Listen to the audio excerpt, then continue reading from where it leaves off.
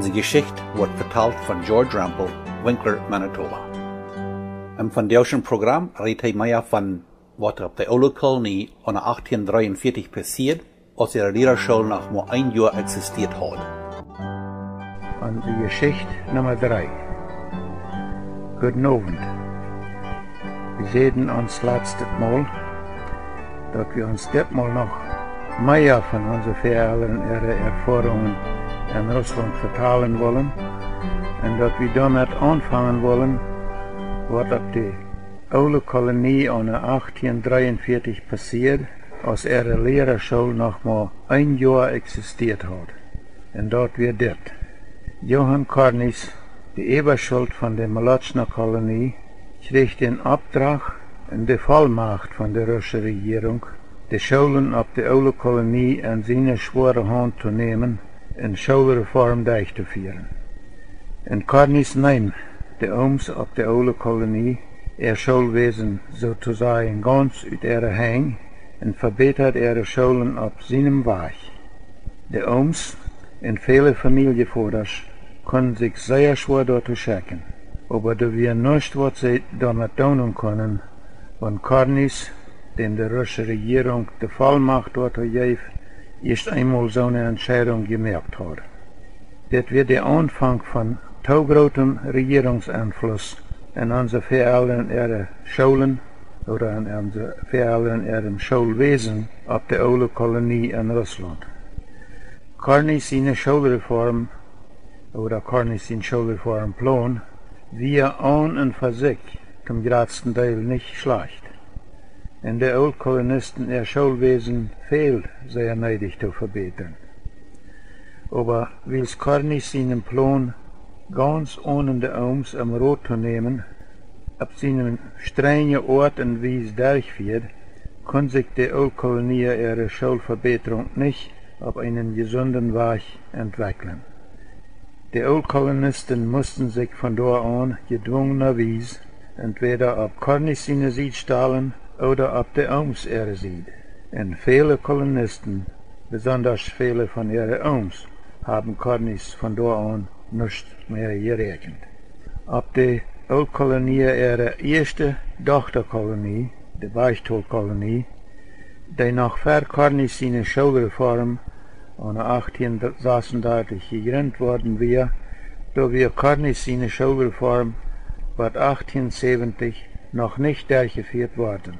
Er starker Ältester Gerhard Wieb hat dort da noch kon verbiegen, dort er Schulwesen nicht auch musst und ja Cornis seine Schulreform kommen. Aber der Regierungseinfluss wird an den Mennoniten ihre Schulen immer noch stärker. An 1870 plande de russische Regierung alle Schulen im Land ganz und gar unter ihre Kontrolle zu bringen. Und auch alle junge Männer im Land militärpflichtig zu machen. Als unsere Vereltern das erfuhren auf der oude Kolonie, auf der Beichtolkolonie, auf der Fürstenlandkolonie und auf viele andere Kolonien, dann fehlten sie alle von ihrer Regierung sehr bedrohen. In de Beistola, ihr ältester Gerhard Wieb, wist nu ganz sicher, dat zij ihr eigenes oude Schulwesen nu ook nicht mehr würden holen können.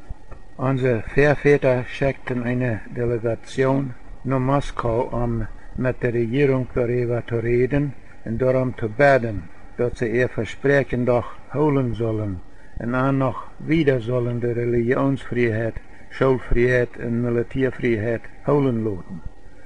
Aber als dort dort klar wird, dass die Regierung dort nicht willig wird zu tun, dann werden die Bergtoller sich einig, dass sie nur ein anderes Land sägen wollen, wo man an noch weiter wird Siedlungsland, Schulfreiheit und Militärfreiheit geben und dann als ganze Kolonie dahin uitzuwandern.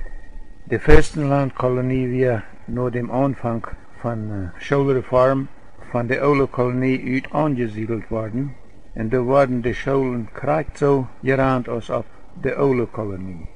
Dort verplautlichte Alphabet wordt nicht mehr gebruikt ihre Schullehrers mussten so sein, die an der Oldkolonie ihre Lehrerschule als Lehrer vorbereitet worden wären. In die franzische Solenwiesen wurden da auch gebraucht zum Singen lehren.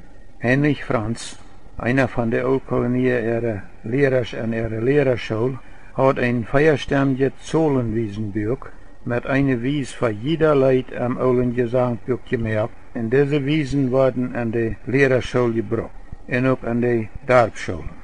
Van diesem Solenwiesenbuch vertaal wie Lothar noch mal Meier.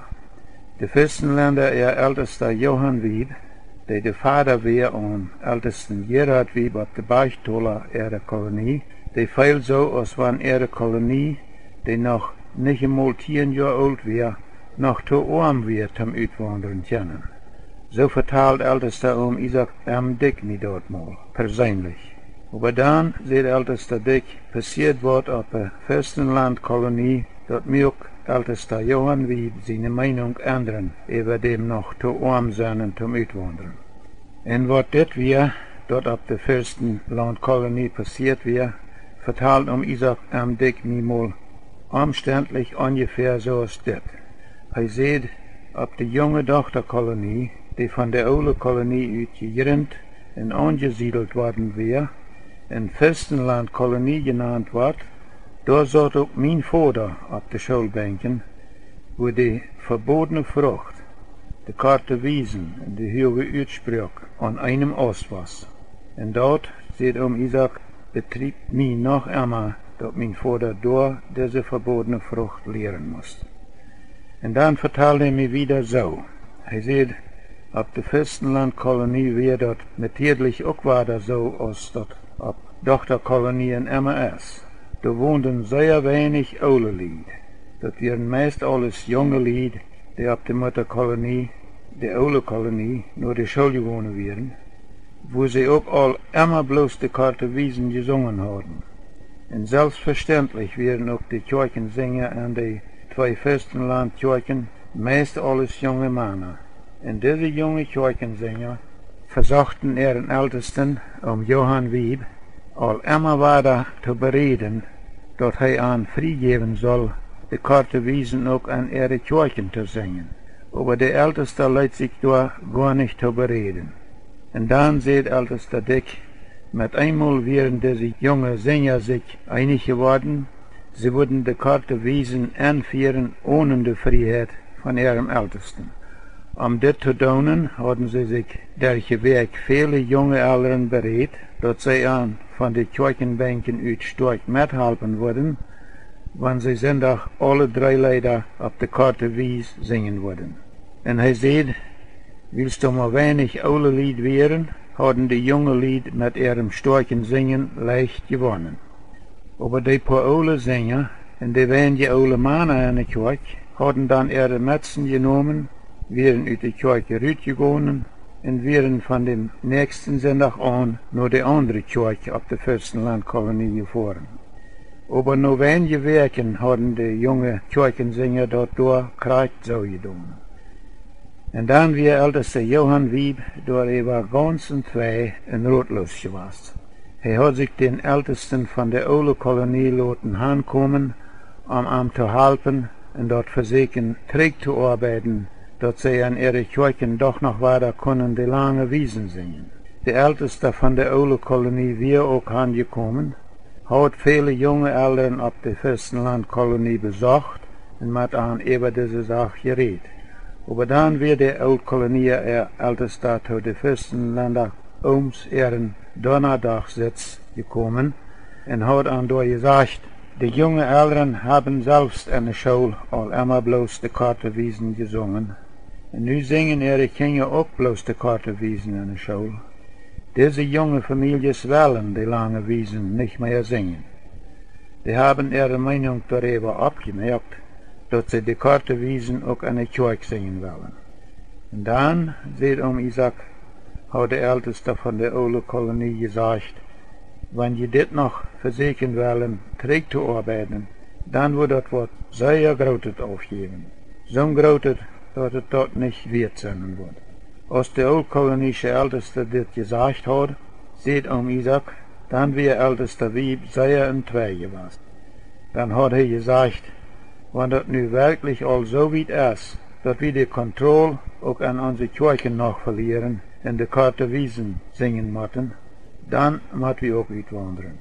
Von dort an versuchten auch ungefähr der Hälfte von den festen Länderfamilies und de meeste von ihre Ooms oder Predjers reit te worden zum Uitwandern.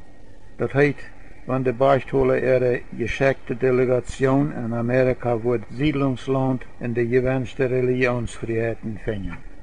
Op de oude Kolonie hat sich die Lehrerschule über die Jahre al zu einer Fortbildungsschule entwickelt, wo noch immer junge Männer als Schullehrer vorbereitet worden, wo aber auch anders junge Menschen höhere Bildung kriegen, die nicht Schullehrer werden wollen.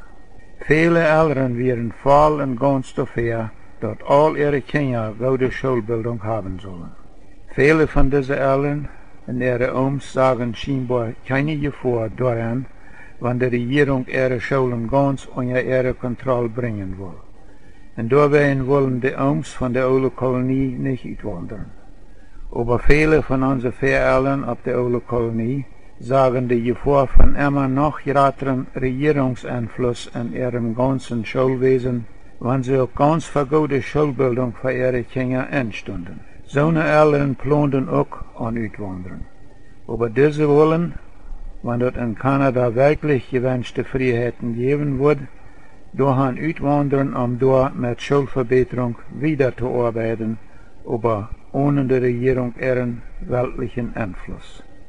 Aber op der oude Kolonie wären auch noch immer so eine Eltern, die da viel lieber noch immer wollen zurückwohnen nur ihrem alten Schulwesen, die durch üt nicht höhere Bildung für ihre Kinder haben wollen.